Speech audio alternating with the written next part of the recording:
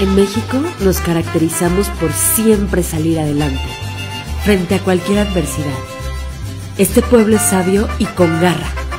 Todas y todos vamos a consolidar la cuarta transformación, porque el bienestar de las y los mexicanos es lo que nos mueve a trabajar todos los días.